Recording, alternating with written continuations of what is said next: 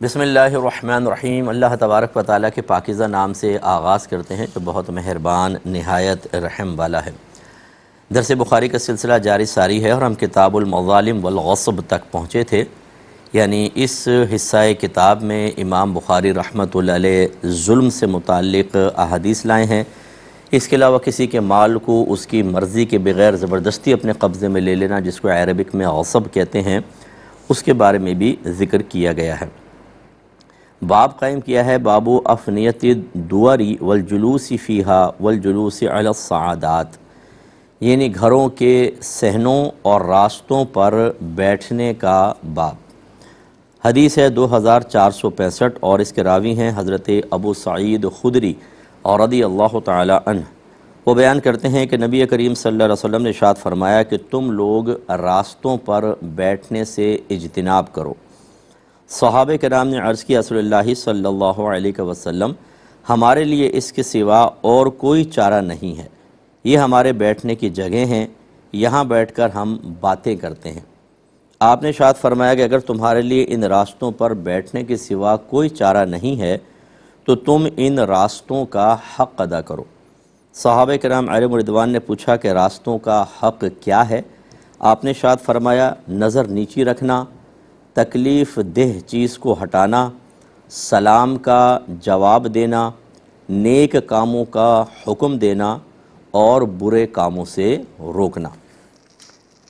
तो आप गौर फरमाएँ कि इस हदीस में नबी करीम सल्लल्लाहु अलैहि वसल्लम ने चंद चीज़ों का बयान फरमाया। पहले तो एक इंपॉर्टेंट चीज़ ये है कि बाज़ बड़े की तरफ़ से बज़ाहिर कुछ कलिमात कहे जाते हैं जो ज़ाहरन हुक्म महसूस होते हैं, लेकिन वो मशवरा होता है। इसमें फ़र्क ये होता है कि अगर कोई बड़ा हमें कोई बात कहता है, हमें यकीन है अगर हम इसकी बात का रद्द कर दें, इस पर अमल ना करें तो इनकी दिल आज़ारी होगी, ये नाराज़ होंगे तो वो बात हुक्म के दर्जे में होती है। और अगर हमें यकीन है कि ना बुरा मानेंगे, ना दिल आज़ारी वगैरह होगी तो फिर उसका हुक्म मशवरे का होता है। हुक्म मानना वाजिब होता है और मशवरा कबूल करना बेहतर है, कर लें, नहीं किया तो कोई बात नहीं। अब यहाँ पर भी ऐसा है कि जब नबी करीम सल्लल्लाहु अलैहि वसल्लम ने उनसे इरशाद फरमाया कि रास्ते में मत बैठो तो ये बज़ाहिर एक हुक्म है। अगर ये हुक्म होता हकीकता और नबी करीम ने इसमें सख्ती और शिद्दत का ही इरादा रखा होता तो फिर साहब कराम कभी ये ना कहते कि रसुल्ला रास्तों में बैठे बगैर हमारा गुजारा नहीं है। उन्होंने यही गुमान किया कि नबी करीम एक मशवरता बात कह रहे हैं, इसीलिए उन्होंने अपने को उज़र पेश किया। हाँ अगर ये उज़र रद्द कर दिया जाता और नबी करीम सल्लल्लाहु अलैहि वसल्लम अपने सबका हुक्म पर बग़ैर किसी शर्त के सख्ती और शिद्दत फरमाते तो फिर ये यकीन हुक्म के दर्जे में आ जाता। या सरकार के चेहरे अनवर पर नाराज़गी के आसार ज़ाहिर होते, जैसे बाज़ मामलात में हुआ तो सहाब कराम फ़ौर उदूल कर लिया करते थे अपने कौल से और फ़ौर जिसको सरेंडर करना कहते हैं, ऐसा कर लेते। लेकिन जब सहाब कराम ने एक उज़र पेश किया तो नबी करीम अलैहि वसल्लम ने उनको, बल्कि इजाज़त दे दी आप ये गौर करें, जिससे ज़ाहिर हुआ कि वो हुक्म नहीं था, बल्कि मशवरा था। अब जब सरकार ने फरमाया कि इज्तनाब करो, इज्तनाब क्यों करने का हुक्म दिया? इसलिए कि जब आदमी बैठता है रास्ते में तो कोई निगाह भी पड़ जाती है किसी नामहरम के ऊपर, और दीगर मामलात हो सकते हैं जो मतलब मुनासिब नहीं होते हैं। या वक्त का ज़िया, आजकल के दौर के अतबार से साहब कराम तो माकूल गुफ्तु किया करते थे लेकिन आजकल के एतबार से अगर दो दोस्त, चार दोस्त मिलकर बैठ जाते हैं रास्ते में तो जो औरत गुजर रही है उसको देख रहे हैं। कहीं गानों की आवाज़ आ गई और कहीं फजूल किस्म की बातें शुरू हो गई गिबतें चुगलियाँ। फिर वक्त का ज़िया के एहसास ही नहीं होता कि कितना वक्त निकल गया है, एक घंटा, दो घंटा, तीन घंटा तो बड़े आराम से निकल जाते हैं। तो चूँकि इसमें खैर के पहलू कम हैं और फसाद के या ख़राबी के पहलू ज़्यादा हैं, इसलिए अल्लाह के नबी ने मना फरमाया। अब बाद ऐसा होता है कि सामने वाले में वो चीज़ें मौजूद नहीं होती कि जो आ, मतलब जिसकी बिना पर हुक्म दिया जाए आ, मिसाल के तौर पे अगर खुदा न खास्ता किसी में कोई ख़राबी है तो हम कहेंगे देखो ये नहीं करो वो नहीं करो वो नहीं करो। क्योंकि हमें यकीन है कि इसका बातिन ख़राब है ऐसा कर बैठेगा। साहब कराम तो साफ़ बातिन के थे। उनको मना करने का मतलब ये है अगर थोड़ा सा गौर किया जाए कि ये आने वालों के लिए भी एक पैगाम था क्योंकि सहाबा तो बड़े पाकिज़ा गुफ्तु नपीतुली किया करते होंगे। लेकिन बाद में आने वालों को अगर ये मालूम चले कि सहाब कराम रोड पर बैठ कर बातें करते थे या साइड में बैठ कर बातें करते थे तो ये उनके लिए एक दलील होगा कि हमारे बड़े भी तो बैठते थे। अब जो क़ुदात और शराइत और दीगर चीज़ों का वो लिहाज करते हैं, बाद वाले ना कर पाते, जैसे हमारे यहाँ तो नहीं हो पाता। तो फिर ये बिगाड़ का ज़्यादा सबब बनता। इसलिए नबी करीम सल्लल्लाहु अलैहि वसल्लम ने पहले मना फरमाया कि आगे वाले लोग दलील बनाएँगे और इन इन एहतियातों को इख्तियार नहीं कर पाएँगे। लेकिन जब साहब कराम ने इसरार किया तो फिर बशराइत इजाज़त मरहमत फरमाई।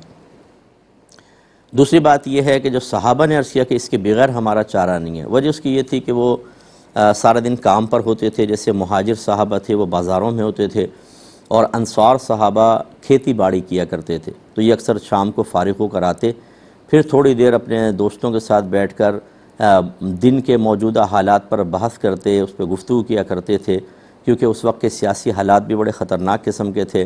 दुश्मनों की तरफ़ से हमलों का अंदेशा था, जैसे अगली हदीसों के अंदर ज़ाहिर भी होगा। और इसी तरीके से दीगर मामलों पर वापस में तबादला ख्याल किया करते थे।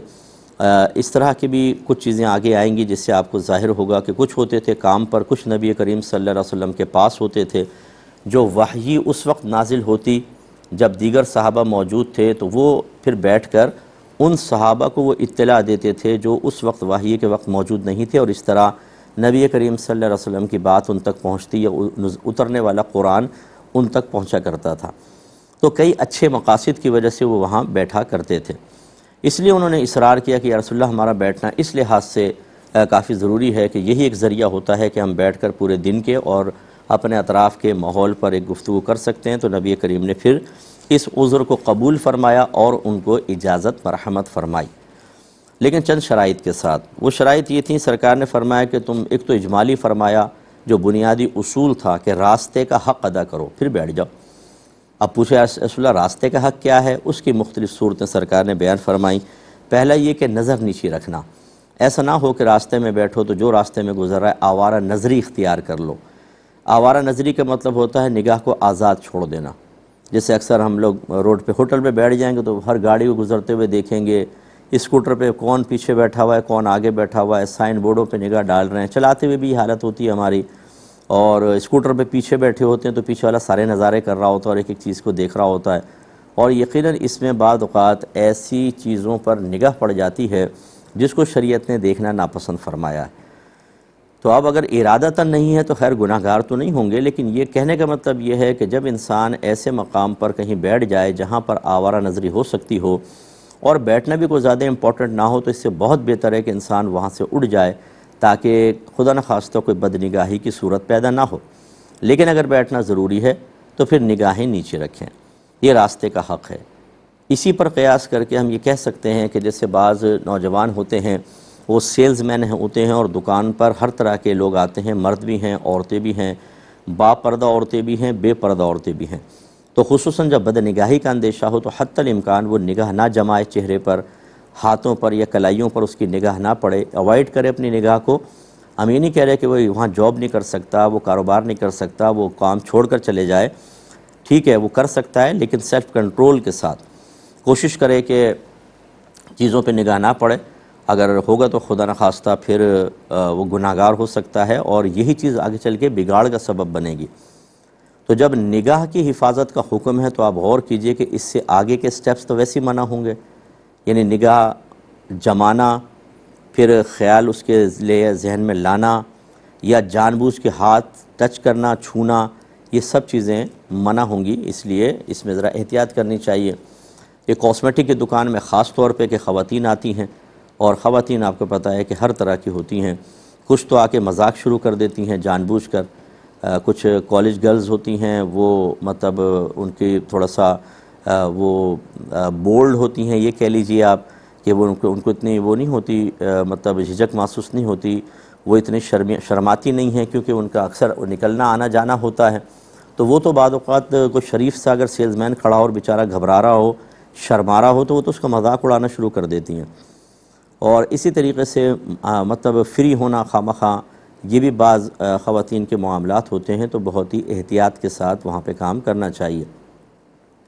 इसी तरीके से कपड़े के कारोबार के अंदर बातखत होता है जहाँ लेडीज़ कपड़े होते हैं तो औरतें आती हैं और हमारी बहनें अक्सर ऐसी होती हैं कि जब घर से बाहर निकलती हैं तो शायद घर में कहकर आती हैं कि छः घंटे तक तो अब मेरी ज़्यारत दोबारा तुम्हारे लिए मुमकिन नहीं है। वो पूरी तैयारी के साथ आकर आके बैठ जाती हैं। ये थान दिखाना, वो दिखाना, वो पचासों थान खुलवा लेंगी, बातें चलती रहेंगी, एक एक घंटा दुकान पे बैठी रहेंगी। फिर बाद कहती हैं, कोई पसंद नहीं आया, और निकल जाती हैं। वो दुकानदार भी बेचारा जल के खाक हो जाता है। लेकिन उसमें भी बड़ी एहतियात करनी होती है, क्योंकि औरतें सामने बैठी होती हैं, बाज़ बेपर्दा भी होती हैं, बाज़ वही फ्री होने वाली सूरत हाल एहतियात करनी चाहिए। इसी तरह एक टीचर अगर कोई एजुकेशन में पढ़ा रहा है किसी अमर मजबूरी की बिना पर अगरचे अफजल और अला ये है कि हमारी बहनें बच्चियों को पढ़ाएँ और मर्द हजरात सिर्फ़ बच्चों को पढ़ाएँ, लड़कों को पढ़ाएँ, यही बेस्ट वे है। क्योंकि जिस तरीके से आजकल हमारे यहाँ आज़ादाना एक माहौल हो चुका है और सोशल मीडिया की वजह से जहनों की ख़राबियाँ बच्चों बच्चों में सराइत कर गई हैं बज़ाहिर, ऐसे में मतलब इस तरह की पढ़ाई में आजमाइशों का और फितनों का सामना हो सकता है। लेकिन बाज़ मजबूरी की भी सूरतें होती हैं जिसकी बहुत लंबी तफसील है, जो मेरा मौजू नहीं है। हमारा मौजू तो ये है कि अगर ऐसी सूरत हाल में इंसान फंस जाए तो उसको चाहिए कि फिर हद तल इम्कान अपनी निगाहों की हिफाजत करे और नबी करीम की के इस तलकिन के मुताबिक थोड़ा निगाहें झुका के पढ़ाए, निगाहें जमाए नहीं किसी के ऊपर, ज़्यादा मुखातब लड़कों को रखे, ये ही बेस्ट वे है। इसी तरीके से बाद डॉक्टर्स होते हैं, इनके लिए थोड़ा सा वसत और गुंजाइश होती है। कि डॉक्टर को चेक करना होता है वो टच कर सकता है नफ्स चेक करता है स्टेटस्कोप से वो चेक करता है आ, कमर पे भी रखता है इस तरह रखता है कि आप खांसे ज़रा। इसके अलावा फिर वो ब्लड प्रेशर वगैरह चेक करना होता है। ये तमाम चीज़ें। इसमें फ़ुकहा ने वाज तौर पर लिखा है कि अगर वो वाकई कोई दिल में खोट नहीं है बुराई नहीं है तो बकदर ज़रूरत वो देख भी सकता है छू भी सकता है। और फ़र्ज़ कर लें, अगर बकदर ज़रूरत वो छू रहा है और उसकी वजह से दिल में कोई ख्याल पैदा हो जाता है, ना चाहते हुए भी कोई दिल का मयालान या कोई ऐसा अचानक ख्याल आ जाता है तो वो लाहौल पड़े और उसको दरगुजर करे इन अल्लाह ताला उसको मुआफ़ फरमाएगा। ऐसी हमारी बाज़ बहनें जो फ़ीमेल नर्सिस होती हैं, ये मरीज़ों को चेक कर रही होती हैं खसूस बाहर के मुल्कों में ऐसा होता है और पॉसिबल है कि वहाँ पर मरीज़ को चेक भी करना हो, टच करना हो। या देखना हो तो जिस तरह मर्द के ख़्यालात में इंतशार पैदा हो सकता है, औरत के साथ भी एक नफ्स होता है, एक शैतान होता है, हमारी बहनों को भी इसमें ख्याल करना चाहिए। दूध वाले के पास कसाई है, सब्ज़ी वाले के पास कोई इलाके के अंदर वो बर्तन बेचने वाले आ जाते हैं, उनको बुला लेती हैं घर पर तो इसलिए थोड़ी एहतियात करनी चाहिए। मैं इनको मना नहीं कर रहा हूँ, औरतें ख़रीदो फ़रोख्त कर सकती हैं और दायरे शरीयत में रहकर वो घर से बाहर भी निकल सकती हैं, ज़रूरत होती है, हर काम मर्द नहीं कर सकता, औरतों को काम करना पड़ता है खसूस बाहर के मुल्कों में। लेकिन हर एक अपने ज़ाहिर और बातिन की हिफाजत का ख़ुद ज़िम्मेदार है, अपनी सोच और फ़िक्र को अच्छी तरीके से काबू में रख कर और फिर बहरहाल वो ये काम कर सकते हैं। तो ये तलकिन सिर्फ़ मर्दों के लिए तो नहीं है, औरतों के लिए भी है, अगरचे यहाँ औरतों का ज़िक्र नहीं था। तो हर मकाम पर निगाहों की हिफाजत का मामला करना चाहिए। इस पर एक आखिरी कलाम में ये कर लेता हूँ कि एक तो होता है ज़ाहरी तौर पर सामने किसी औरत को देखना जिससे उस ज़माने में ना वीडियोज़ थी, ना कोई मतलब डिजिटल कैमरास थे और कुछ भी ऐसा नहीं था तो वो तो फिर जो भी अहकाम हैं वो ज़ाहरी ज़िंदा औरत के बारे में थे। लेकिन अब ऐसा है कि अगर एक नौजवान, एक मर्द या औरत सोशल मीडिया पर बैठ जाते हैं, इंटरनेट को यूज़ करते हैं तो ना चाहते हुए भी बहुत सारी चीज़ें ऐसी सामने आ जाती हैं कि जिसकी वजह से जहन में हमारे कल्ब में इंतशार पैदा हो सकता है और हमारी तवज्जो ख़राब चीज़ों की तरफ़ जा सकती है। अगरचे ये याद रखिए कि एक ज़िंदा औरत को देखना और एक वीडियो के अंदर औरत को देखना शर्य हुक्म के अतबार से इसमें थोड़ा फ़र्क होगा। जिस तरह ये देखना सख्ती से मना है उसके हिसाब से ये कम होगा। लेकिन माल और नतीजे के एतबार से देखें कि अगर ज़िंदा औरत को देखकर गुनाह का ख्याल आ सकता है तो एक मूवी को देखकर, उसमें औरत को देखकर भी आ सकता है। और जिस तरह इसको देखकर इंसान किसी गुनाह तक पहुँच सकता है, ऐसे ही वीडियोस वगैरह देखकर या पिक्चर्स देखकर भी वो गुनाह तक पहुँच सकता है। जैसे हज़ारों नौजवान अपने अहवाल जब हमें बयान करते हैं, गुनाह करने के बाद, नादिम होने के बाद, फिर जब वो तफसील बयान करते हैं तो ये चीज़ें सामने आती हैं कि जी इंटरनेट पे चले गए थे, फ़ुला चीज़ देख ली, फ़ुला चीज़ देख ली, फिर जहन में गंदा ख्याल आ गया, वो फिर इरादा बन गया, फिर अमल किया, और आज हम अल्लाह की बारगाह में नादिम और शर्मिंदा हैं। और वो पूछते हैं कि हमसे ख़ता हो गई कि अल्लाह ताला हमारी तौबा कबूल कर लेगा, हमें मुआफ़ कर देगा, क्योंकि ज़िना तक इंसान बाज़त पहुँच जाता है। इस एतबार से अगर देखें तो फिर इसमें भी एहतियात करनी चाहिए कि गैर ज़रूरी तौर पर सोशल मीडिया पर जाना, उसको यूज़ करना कोई ज़रूरत नहीं है, कोई फ़ायदा नहीं है, क्योंकि ने सही फरमाया बाद एक निगाह, आज़ाद छोड़ देना इंसान को सालों रुलाता है। ऐसे ऐसे नौजवान देखें जो बिल्कुल पाकिज़ा ज़िंदगी गुजारते थे, बस एक निगाह पड़ी और दिल की दुनिया बदल गई और उस, वो बुनियाद बन गई, फिर निगाह की मुसलसल आज़ादी की और उसके बाद फिर वो क्या कल्ब में इबादत की नूरानियत, क्या रूहानियत, क्या फ़िक्र आखरत, क्या मौत का खौफ, क्या अल्लाह की गिरफ्त और उसकी नाराज़गी का डर, सब निकल जाता है और इंसान अपने आप को दुनिया के हवाले कर देता है। एक निगाह तबाह कर देती है बादुक़ात इसलिए एहतियात अच्छी तरह करनी ही चाहिए। और सरकार ने दूसरा फरमाया कि तकलीफ़ देह चीज़ को हटाना। जैसे अगर बैठे हैं, फ़र्ज़ कर लें, कोई बीच में एक पत्थर नज़र आया, लोग वहाँ से गुज़र रहे हैं, अटक के गिर सकते हैं तो उसको हटा दो। किसी ने लकड़ी वगैरह फेंक दी, जैसे वो चलते चलते ही बाद पिछले दौर के अतबार से वो जंगल से लकड़ियाँ काट के ला रहे हैं जानवर पर। एक लकड़ी गिर गई, अब वो कोई चल रहा है, उसको ठोकर लग सकती है चुप सकती है, वो उठा के फेंक दी। तो तकलीफ़ देह चीज़ को साइड में कर देना ये भी एक रास्ते का हक़ समझ लीजिए। और इसी के ज़िम्न में फिर मतलब वसत होती है कि जैसे अब आप जा रहे हैं, अगरचे आप रास्ते पे नहीं बैठ रहे, लेकिन रास्ते में से तकलीफ़ दे चीज़ का हटा देना, ये बड़ा अफजल होता है। नबी करीम सल्लल्लाहु अलैहि वसल्लम ने शाद फरमाया कि एक शख्स ने एक लकड़ी को देखा कि वो दरख्त की टहनी थी, जो शार, यानी सड़क की तरफ़ आ गई थी और उससे टकराने का अंदेशा था तो उसने उसको तोड़ दिया ताकि लोगों को तकलीफ़ ना पहुँचे। तो अल्लाह तबारक व ने उसको जन्नत में दाखिला अता फ़रमा दिया। यानी बरोज़ क़्यामत वो जन्नत में जाएगा सिर्फ़ एक तकलीफ़ दे चीज़ हटाने की बिना पर। इसलिए कभी आप जा रहे हो, लोग केले के छिलके फेंक देते हैं, आप अंदाज़ा करें। रास्ते में पत्थर होते हैं, ठोकर खा लेंगे, उसको दो गालियाँ बक लेंगे, लेकिन हटाएँगे नहीं साइड में, गाली बकते हुए निकल जाएँगे। भैया आप अटक गए थे, आपका स्कूटर गिरने वाला था, दूसरा भी तो गिर सकता है, आप उतर के साइड में कर देते। नहीं। तो इसलिए तकलीफ़ दे चीज़ को हटा देना ये अफजल होता है। अब तकलीफ़ दे चीज़ को हटाना, ये रास्ते का हक़ है। और तकलीफ़ पैदा कर देना, ये किस कदर ख़तरनाक होगा, किस कदर आदमी गुनागार होता है। तो इस पर भी मैं कलाम करता हूँ अवत कि आप केला खाते हैं, केला खाया, वहीं फेंक दिया। अवत तो आप देखेंगे, बस में जा रहे हैं, खिड़कियों से केले के छिलके बाहर आ रहे हैं। यानी वो तमीज़ नहीं होती कि हम कहाँ फेंक रहे हैं और बच्चों को भी उन्होंने सिखाते, वो भी बाहर फेंक रहे होते हैं। मेन रोड के ऊपर आ गया केला। छिलका। अब वो स्कूटर वाला आता है बाद बेचारा उसके ऊपर एकदम फिसलता है और वो चोटें लगती हैं। ऐसे ही गढ़े कर देते हैं बाद कोई कनेक्शन लेना है कुछ करना है वहाँ से लेके गटर से लेके घर तक कनेक्शन वो कर दिया जी। या पा, पानी की लाइन का नई रोड डली है फाड़ देते हैं उसको।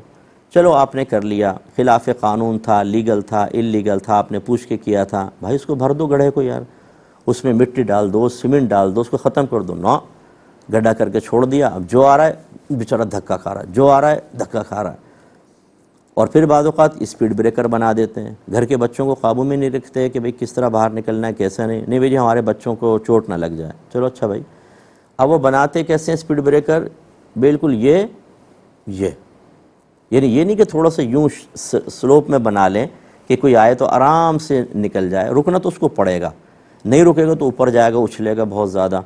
लेकिन वो कहते हैं कि नहीं, बनाओ भी ऐसा कि किसी का गुर्दे में पथरी हो तो पथरी निकल जाए। किसी के फेफड़ों में से सांस नहीं जा रहा तो अब सांस जाना शुरू हो जाए। और यूँ होता है।